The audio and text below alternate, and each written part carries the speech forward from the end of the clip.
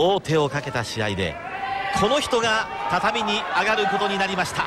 日本にとっては願ってもない舞台。63キロ級キャプテン谷本歩実アテネ北京連続金メダリストの谷本がさあ勝って決めるか。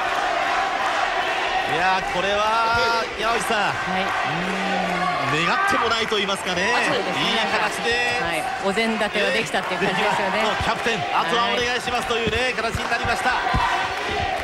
ただまあ慌てる必要はないと思うんですね。えーやはり谷本選手今今大会初戦ですので、えー、はい。まあ、北京以来のね試合ということになりますから、最初の1分はちょっと体を動かすぐらいで温めてそ,、こからね1本狙いにいってもらいたいと思いますが。対戦相手はエマニュエル・パイエ。あのこのクラスはもちろん谷本が決勝で破ったあのデコス。あのデコスがいるんですがそのデコスが70キロ級に、えー、クラスを上げましたんで。そうですね、えー、もう完全にこのパイエがこのフランスの70、えー、63キロ級の代表ということになります。ですから現在のフランス63キロ級一番手を相手にしていることになります。谷本。このパイエ選手は比較的組んでくるタイプの選手ですね、えー、ただちょっとこう体をひねるような。さあ巻き込む形。おっとここは後ろに回られた。ちょっとこう変形気味なんですね。えー、ですから谷本選手1回振ってからね、自分の方に戻したいところですけども。締めながら、えー、返そうというパイエでしたがそしてちょっと心配なのは今もちょっと仕草を見せましたが腰ですね。ちょっと変なひねり方をねちょっと今しましたけど、この試合はなんとか頑張れると思いますよ。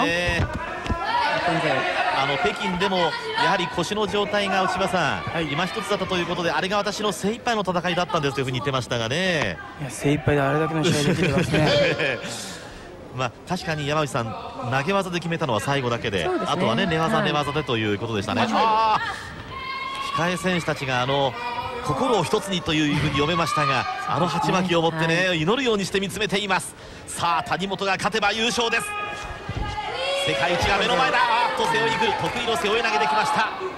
ただ内場君あれですよね。どっか一つ故障があると意外とこうなんていうんだろう。集中力がかえって出ることあるんですよね、あなるほど、ね、緊張しすぎずに、こうチャンスをものにするっていうところは意外とねそうですね。いい時もありますよね。怪我してた時の方がいい時があります。そうですか。さあ今ただ谷本とすればキャプテンとしてやはりここまで流れを作ってくれたチームメートのためにも何としても決めたいという思いがあるでしょう。さあこれは切れた。押し手が切れてしまいました。洗い腰あるいは内股こういった得意の技にいけるかどうか。腰が果たしてその辺り持つかどうか、まあ、前後の揺さぶりがねもう少し出てくるといいなと思いますね、えー今ちょっとこう組みって組んでから、はい、あのー、そのままかけてるのでなかなか相手が崩れてきません、えー、まずここで持ってから若干こう崩す今の足技ですね、はい、さあこれはこらえました。いやさすがにパイエ体が効きますね、えー、一瞬いったかとね思いましたけど。ね。首からちょっと落ちましたかパイエ選手、はい、さあ徐々にエンジンがかかってきたか。この背負いも見切っている谷本。まだ両者ポイントなし。この試合に勝利すれば日本世界の頂点に立つことができます。世界柔道団体戦決勝。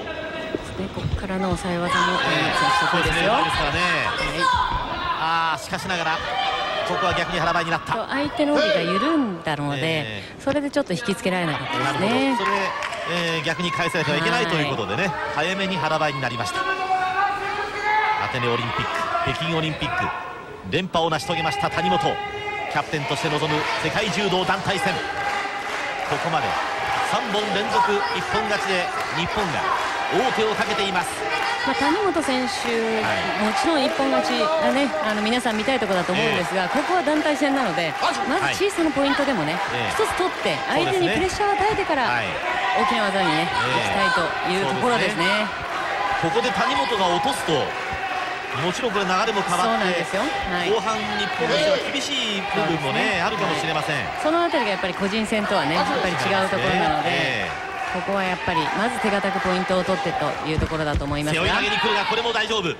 この背負いは、うん、大丈夫のようなふうにも見えますがねられることはないと思うんですが、えーね、はい、ただやっぱり何回か仕掛けられると、えー、あのー、谷本選手がかけてないということでね、なるほどね。指導が来る可能性、そ、ね,、れが怖いですね。す。で、に2分を切っています。腰に爆弾を抱えている谷本。とにかく北京オリンピックも畳に立てるかどうかギリギリの状態の中での戦いでした。場外あっとしかしこれは不審2人が取り消しという仕草を見せまして取り消されました。ちょっとただやっぱりパイエ選手、はい、弱気なちょっと下がり方ではあったんですよね。なるほど、はい、やはり谷本に持たれるとというところがあるのかもしれません、ね、やはり谷本に十分に持たれたらこの組で注意ですよあとさあ、足を取りに来る。あのデコスさんでさえ投げられたというね思いがあるのかもしれません。さあどうだ？ちょっと腹で逃れるパイエ、はい、これはちょっと難しいか。残りが1分20秒。引き分けになれば残り2つの試合でということになります。あとは君原と中澤。祈るような思いで見つめている。これが団体戦日本が一つになってロンドンに向けての大しく第一歩を踏み出そうとしている。最高の形でその一歩を記せるか日本。日本柔道がやはり世界一だということを見せることができるか日本女子。ちょっとパイエ選手もあのいっぱいいっぱいになってきてる感じがしますんで、ね、このあと50秒ね、はい、あの勝負かけれると思いますよさあおっとここは。ちょっと血が出ましたかねパイエ出血したのかもしれません、はい、はい。あご覧のように一番手前が山岸。ただやはりですね、はい、パイエ選手の戦いぶりを見ると、ええ、よく谷本選手を研究してますね。あそうですか、はい、あの谷本選手のあの、え、組手十分にさせない、はい、なった時にはどうやって防ぐかっていうのをきちっと対応ここまでのところはできてますね。やはりそれはもうデコスがジュニアの頃からずっとこの谷本とね切磋琢磨をしてきたわけですから、谷本のいいところも悪いところも全部分かっています。さあ試合再開。まだ両者ポイントなし。何としてもこの谷本で決めたい日本。残りが40秒になろうとしています。さあ払い腰に行く。どうだ？ポイントは？はい。持ち手が切れましたさあ痛む腰を抱えてそれでも払い腰を見せましたがポイントにはならずまた出血がありましたでしょうか、ね、畳のところに血が落ちたということでしょうか、はい、ご覧ください。もうちょっと。そうですね。あの肩がついてもですね、えー、効果ポイントなんですけれども、はい、もう一押し。まあ、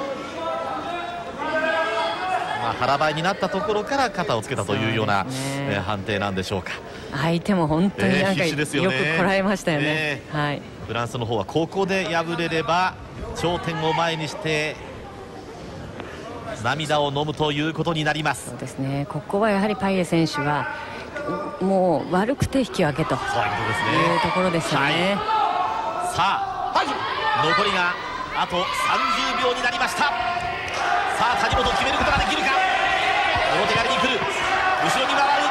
ここから寝技に持ち込む。持ち込めるか？もう一回。もう一回。さあどうだ？ああ腹ばいになってパイエ。懸命に逃れる。残り15秒。足をこの足を抜けば抜けば抜けるか？抜けた。さあどうだ？ああ腹ばいになって逃れたパイエ。残りが5秒。逃げ切られたか？パイエここは金メダリスト谷本相手に大健闘と申し上げましょう。なんとか後ろにつないだパイエ。日本谷本で決められず。やはりパイエ選手が、はい、あの最後まで下がらずに、えー、怖がらずにやっぱり勝負してきたところをまあ褒めたいですね。そうですね、はい、谷本で決めることはできませんでした。残り2試合ということになりますが。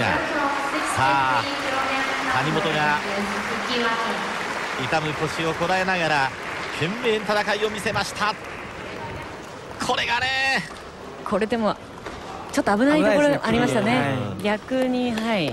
あの返されるというところもあったのではい、はい。まあ、谷本の頭をポーンと叩いた日陰監督谷本歩実は引き分け決めることはできませんでした日本